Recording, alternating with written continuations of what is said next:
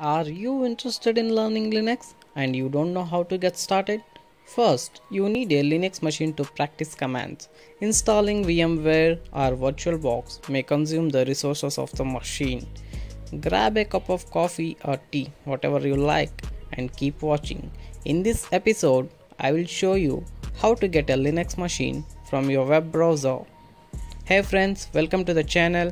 Your friend Ali here. Let's get started. Open a web browser and go to academy.hackthebox.com.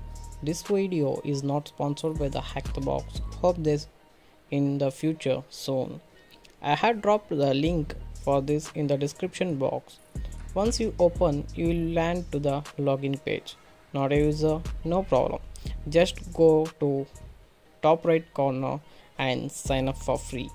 I already have an account. Give me a minute. I will log in and come back. I logged into Hack the Box Academy.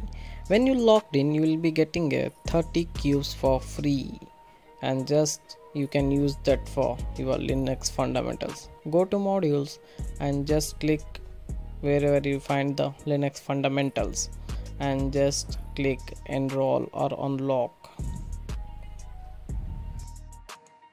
once you enroll to this course you will be getting all the details regarding the modules and sections of the linux structures. Everything you will find here that you can use as a reference to learn linux also. And once you come down to the bottom of this page you will find my workstation. Once you click the start instance it will take few seconds to load boom. You have your machine. And clicking on the interact you will get your linux machine on a new tab. You can do anything. Ls lll cd start your linux journey